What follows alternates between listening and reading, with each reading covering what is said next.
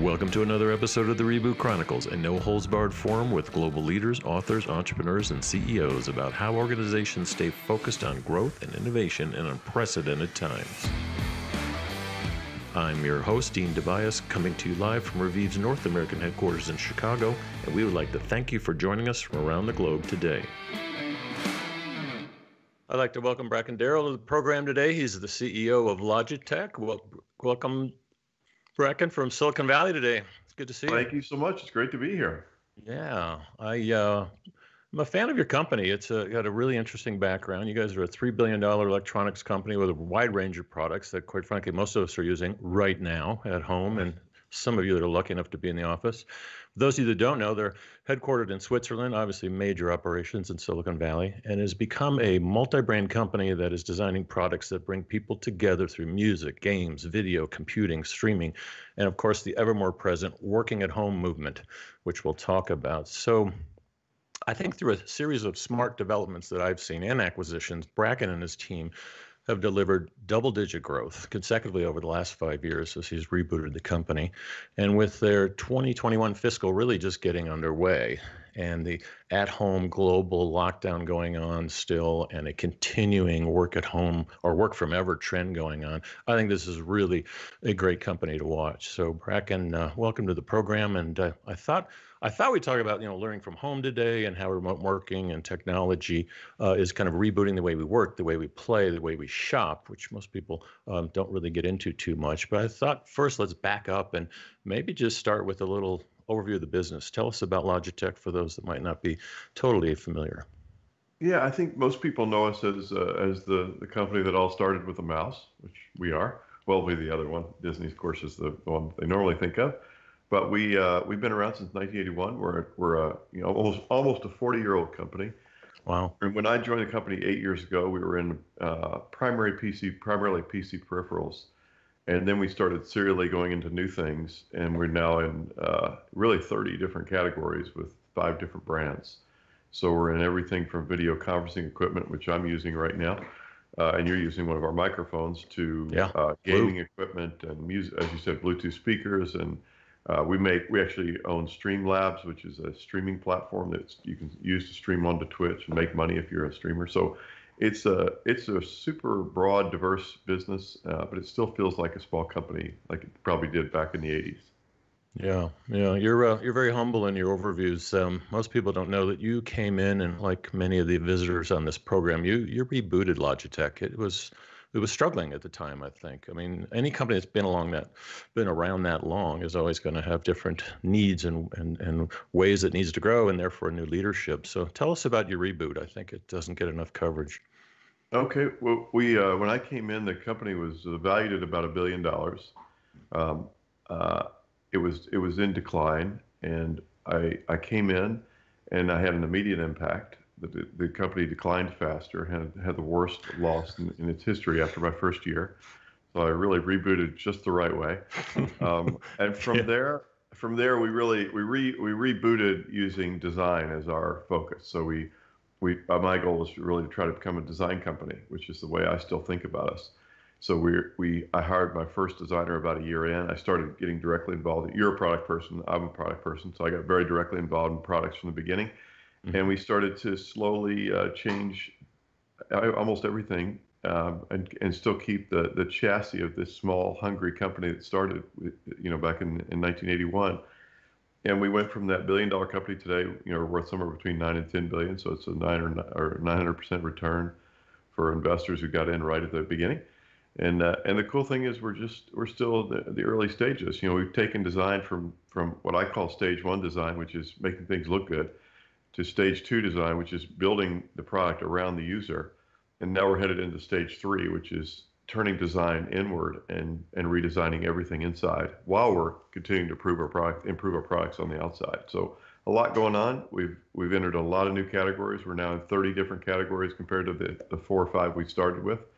Um, and we're just getting started. 30 categories, almost 30 years coming up here. Wow. Um, 40 or I'm sorry, 40. Do the math. that actually is amazing, especially for a Silicon Valley company and um, or Silicon Valley Swiss. Uh, yeah. The uh, so let's fast forward now 2020, it's been a little different. A lot of companies have kind of suffered. Um, I assume, you know, with the, this massive shift to work from home and lead from home, which is something that people are trying to do and struggling with. So there's a whole leadership track here that so we can ask you about in a bit. But what's been the impact on Logitech? I assume it's better than uh, some of the retailers that had to close. You guys have maybe had a opposite effect. Yeah, we were we our business is driven off of four uh, four big long-term trends or secular trends. Uh, the first one is video everywhere. You know, you you know, it used to be you'd go into a meeting space and there'd be a phone on it, and right. increasingly there's an, there's video, and so we're we're video enabling those rooms. We're bigger now than any other company in that, and bigger than Cisco and Polycom, and or which is now Poly. So we're we're a big player in that. The second uh, big trend is esports. You know, we we got in pretty early in the in the rise of esports. Back in when I first came, we did a student body left and put as many people as we could on it because I had kids who were serious gamers and they told me, "Dad, get with the picture, man. You guys have a great brand, but no products that make sense." And and, uh, and we started investing. So that's that secular trend is going to continue. You know, esports will be part of the Olympics, I suspect, in in, uh, over the next few uh, next you know four, five, six, seven, eight years. And then the third uh, big trend is is working from anywhere you know, which as you mentioned during the pandemic has gotten a shot in the arm, but it was already on the way up. And then the last one is streaming and creating, like like in a way like we're doing now. I mean, right. But the democratization of, of streamers has opened up new categories for us, and all those are are trends that were that that, are, that give us different categories of opportunity, and we've just entered more and more categories across all of them. So, kind of sticking with the uh, the times that we're in, your company has done a few things to, to kind of pitch in and help out, and I guess give back would be a better word around the globe. What uh, what what have you actually done?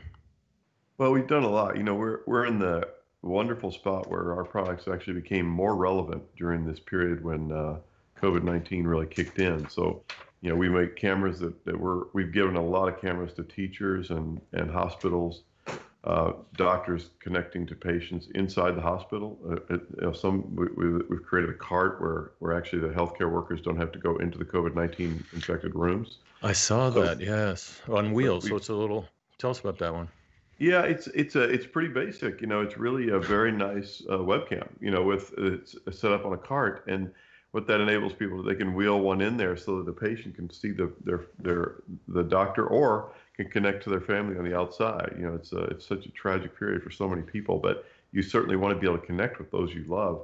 So we've done that. We've also um, we've rolled out a program where we connect teachers to students. You know, overnight, you know, every teacher became a, a virtual teacher, and they needed a good camera. And so we we've uh, we did 12 or 15,000 at this point um, headsets and, and webcams so, so they could do that. And and then we've wow. just been all over the all over the world. We've had our own people going out trying to do good good stuff, whether it's donating cameras or helping people. You know, it's been a uh, in a way the most important period in our company's history from the standpoint of really connecting people to other people. Yeah, that's a big commitment. I mean, giving away free hardware is a lot different from digital companies providing extra cloud space and this and that. Um, that's that's that's um, all they needed on top of that was someone to help them kind of figure out the, the curriculum and the new environment and the uh, the coaching and the training. It sounds like a lot of your employees kind of jumped in there too, which is which is fascinating. You've got a global footprint too, which is very helpful. Very. What um, so just kind of looking ahead, the um, maybe what we talk about a lot in the program is kind of growth and innovation and the governance around it. So um, without getting too into the weeds, I'd love to hear your strategy a little bit whether it's the past or maybe we'll talk a little bit about the future at the end. When you look at developing new products and services, so your design thinking, you're you're bringing that more into a common structure into the company. Um, so three things that I usually talk about in the reboot series is you know build, buy, borrow. So are you building some of your own technology? Obviously you are. Are you buying it and acquiring? You've done some really good jobs. Uh, I think acquiring companies like uh, Astro Gaming, Streamlabs, Ultimate Ears, Jaybird, and of course Blue, this thing here. Yeah. Uh, quite, quite frankly, I think you've been one of the smartest acquirers out there, not overpaying for stuff as well.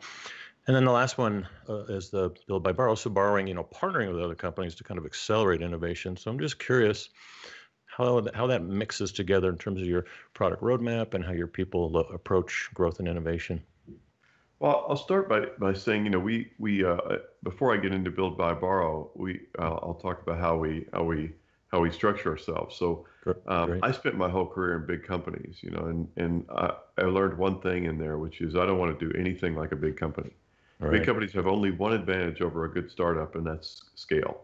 And of course, scale is a huge advantage. So it has it plays out in many different ways. But everything else is a disadvantage: the bureaucracy, the hierarchy, the slowness. You know, so so I didn't want to be like that. So what we've tried to do is um, one of the reasons why we have 30 different businesses now is we've I feel like a, uh, the, the chief rock breaker. You know, as we grow, I keep breaking these teams into smaller pieces. So we're now yeah. we've gone from you know four to 30. We'll probably one day be 50 or 100. And and so what that's done is it's given us these small teams with a lot of ownership and accountability for what they're doing.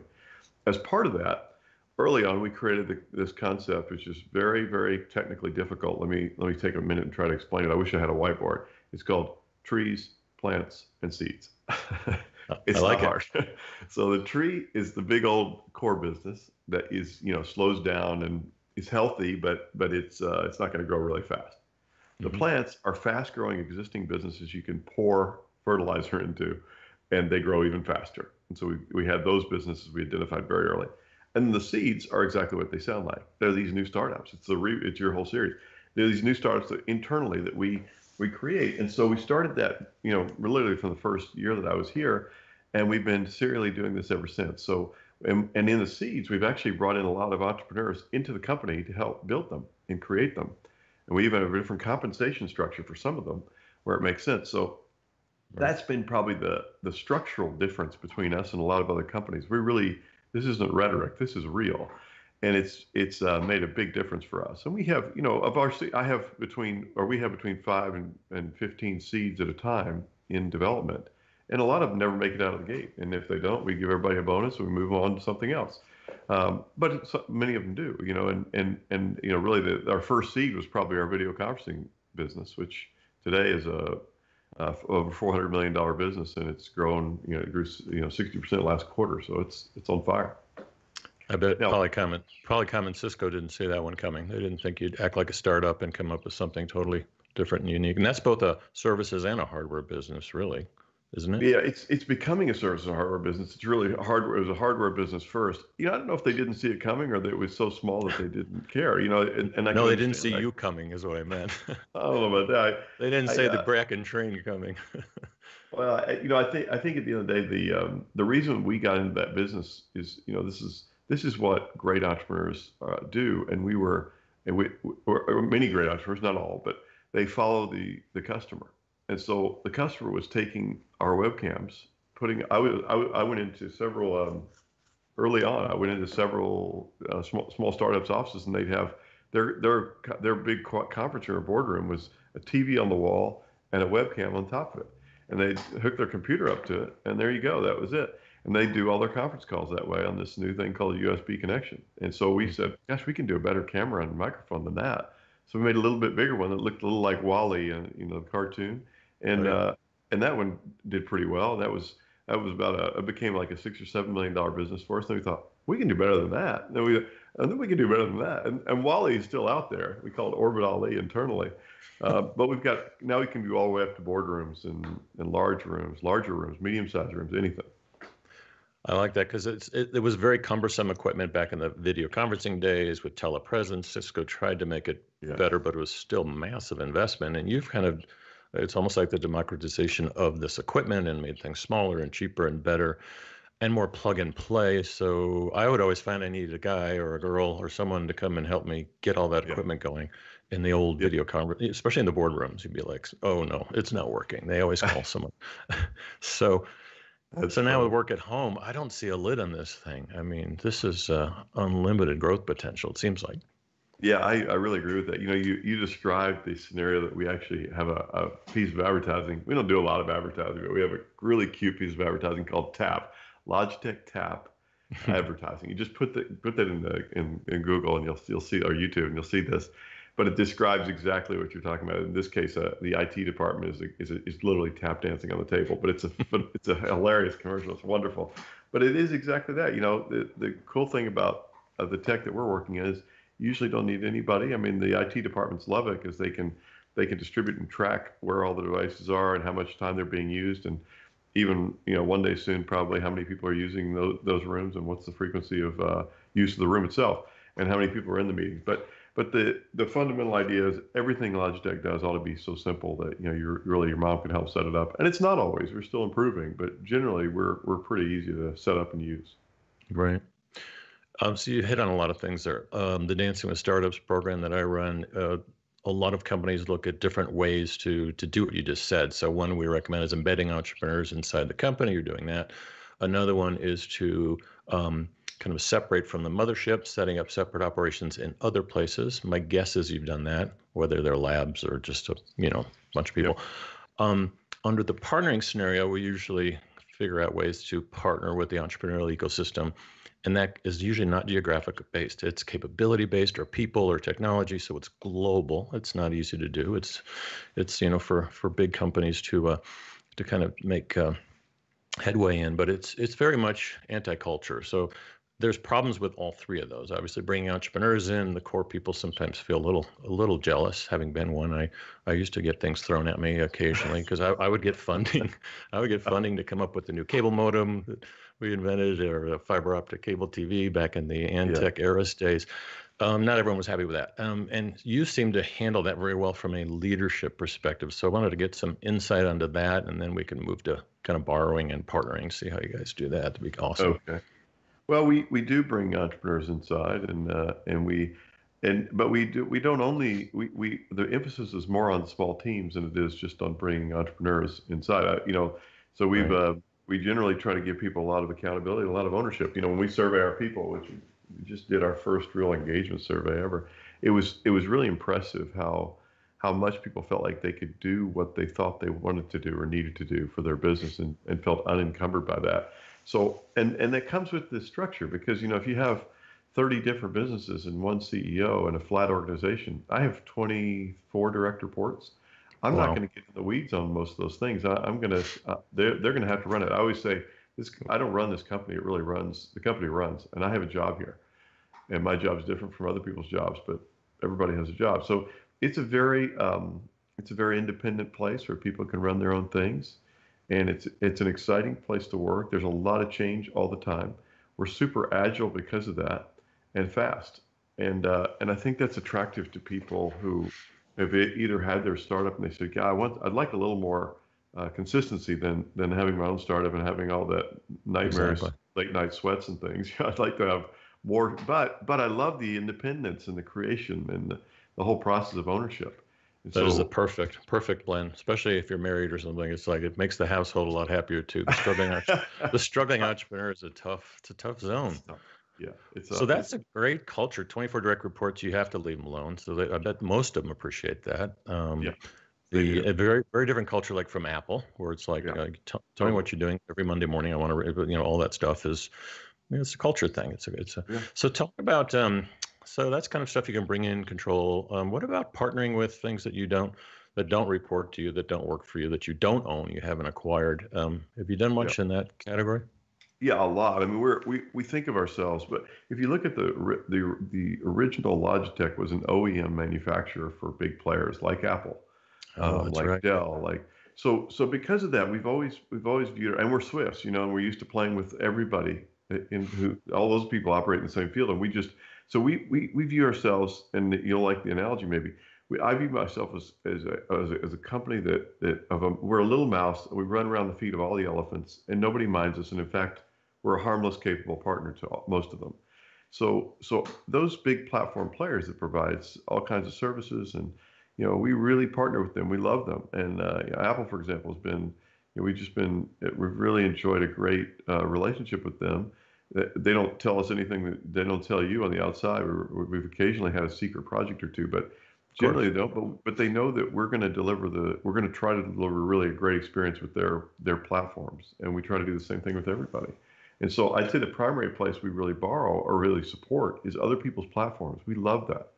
We, we create our own too, but, but I'd say more rarely. We, we think yep. of ourselves as a peripheral to, to any somebody else's cloud. We have our own services on top of that that will go, you know, like mm-hmm. Streamlabs or or the service we have on on our video equipment now, or we'll offer extended warranty and setup and things like that. But generally, we want to be here to help these big platforms be successful with their customers. Yeah, that's that's uh, actually really smart because you just basically ride that wave with them rather than competing with them. It's I don't know if you knew this, but the elephant and the mouse are the two characters in Dancing with Startups, and I know I normally would classify you as the elephant, but against Apple, you are the nimble mouse or some people call some yeah. people call it an ir- irritating chipmunk. It can be sometimes as well. Yeah. So that's interesting. Where uh, you know a three billion dollar company can actually be the agile player to help some of the even larger players. We call those guys BFSs. So big, fat, and slow needs that capability to be plugged. You're actually both at the same time. We are big, fat, and fascinating. Slow. Right here, right now, we're big, fat, uh, and slow in too many places. No, that's good. That's good. I mean, the way you've broken it down is smart. How about? Uh, I know a lot of listeners are asking. Got a couple questions coming in here about um, the whole work at home digital acceleration. We've covered on this program, so I won't do it again. Just how much digital acceptance has accelerated in the household, in the work, in shopping, in gaming. Gaming was already there, but um, you know how it's actually accelerated by anywhere from five to ten years. Even the laggard baby boomers, friends of ours, right? Um, even they are they're like, oh yeah, I'm so hip now. I'm using all the digital stuff, and I shop, and I do this. So that is transforming retail. But I thought I'd get your thoughts on the whole work at home trend. What's going on? What do you what do you think is going to happen there?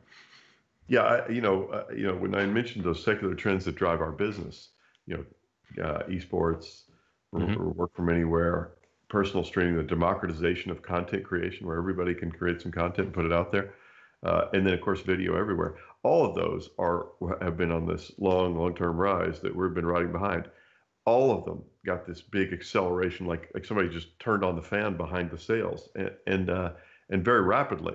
So, uh, in, in every case, you know, I think you're seeing more and more of that. I don't think we're ever going to go back to. I know we're not going to go back to where we were for a work from home standpoint you know, people are getting a better setup at home. People are kind of creating their own broadcast studios. They can do something a little bit like you're doing, probably for a really somewhat a little bit smaller audience. Uh, but but this is this is the trend that's happening, and I think it's it's it's going to continue for the very long term. It's probably also going to give a, you know, there are secondary effects to all this stuff. I think one of them that I'm I think is fascinating is the gig economy. I think the gig gig world is just going to explode here in about a year right. or two because exactly. more, more, and more people are going to be working from home, and they're going to say, you know what, there's something else I can kind of do from here, and then they're going to make the transition out of their old job or, or keep it and do a little bit of gigging, and then companies are going to say, wait a minute, I got I got already got all these people working from home. Uh, this next job I need to add, why don't I add it gig style? I'll I'll use a part of somebody's time, not all of it. And so the gig world is going to, I think, it's going to just keep on growing, and maybe accelerate over over time kind of a, an asymptotic curve. No, I agree. I just did a lecture with the Kellogg students about that. It's just like it's finding your purpose in the gig economy. And I, I made fun of a couple articles, which I always do. I kind of show them on the screen, and it's like people like saying, fun, yeah. "No, they weren't yours. They were the demise of the gig economy." And I said, "Don't read this. It's not completely accurate." They mean not at all. I'm like, I'm like, no. Half of you who think you're going into corporate and consulting world are either going to work for a startup um, or have a gig economy job with your corporate job, and that's fine. That's and here's how you do it. It's like a whole new one of the things. So that's good. Esports, I'm a huge fan of. You guys were one of the first ones in there. You took a gamble. You started sponsoring. People were like, "What is esports?" And you got it. Um, you still riding that wave, obviously. Oh, big time. It's just it's one of the most exciting things we've done. We've got a lot of exciting things going on. But if you make high performance gamer keyboards. Some people don't know that gamers need keyboards.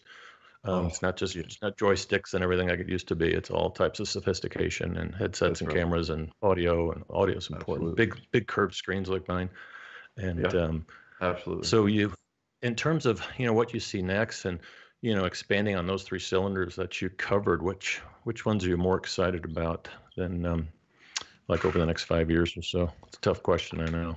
You know, you, know, it, it is a tough question because because uh, we're very fortunate. I'm really, uh, you know, it's like asking me which of my children do I like the most. You know, and you have three of those too. So I've got four of those. I've got four, of those. Love them. Oh, no, I've got three of them. I'm just kidding. My my kids are going to be alarmed. Where's the fourth child? um, I, I, uh, but but you know, I would say if I if you really pin me up against the wall and say which one are you most excited about, um, I would not be able to answer officially, but mm-hmm. unofficially, I would say probably streaming and creating which is yeah. the blue microphone, Streamlabs, webcams, whatever. And, and and by the way, it also touches our mice and keyboards, this whole setup. Because I really do envision a world where you know almost everybody is is is creating content and putting it out there for other people to see. It's already happening. And it's just going to keep growing. And doing that when and doing it where it's easy and looking good and feeling good and feeling confident and and getting feedback.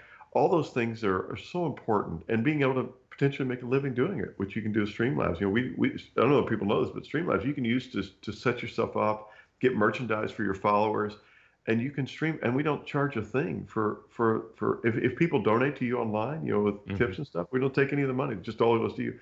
So it's a it's a this is a world that I'm super excited about. And I love creativity. So I see so much creativity through Streamlabs and all their other business. So maybe the streaming and creating part, but it doesn't mean that I'm not almost maybe day in and day out, sometimes more even more excited about esports or video everywhere, or, or even working from home. Yeah, and and and streaming fits into all those categories anyway. Content, content really creation, does. content creation is everywhere, and I, I don't know yeah. how we can build enough servers to store all this stuff. Actually, I, am always amazed about that. I think that's the real reason. The Bezos hardware business is not dead, guys. It's, no, I think that's the real reason Bezos has gotten into you know, Virgin Galactic because he's going to have to put servers in space. There's just no more space for a server. uh, there's one outside my window right now. yeah, exactly. I really appreciate you you being on, and uh, next time we'll we'll come out and do this at your uh, at your HQ, um, or maybe in, maybe in, maybe in Switzerland. Who knows? But that'd be awesome. It's hard for you. Uh, I usually ask you what kind of parting words, words of wisdom, maybe something a little hopeful here for the audience. So there's a work at home audience, there's a gamer audience here. There's there's people trying to figure out what they should do with their gig and where they should be streamers. But yeah, any any good parting words for the uh, for the users out there?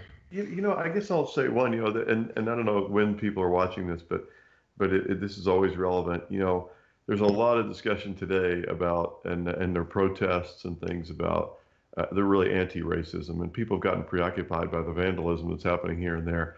I, I hope people will be preoccupied by by the protests. This is a time where when I think for maybe for the first time in my lifetime, we have a chance to completely reverse this racism problem, and I am super excited about that. And there's such a gap between what we should be doing day in and day out, including in companies like Logitech, where systemic racism and, and bias is built into the way we do things. And now's the time to really turn the tide. This is the biggest moment we've in my lifetime to make that change. So I hope everybody will jump in and be be an advocate and be a protester against racism and for getting the bias out.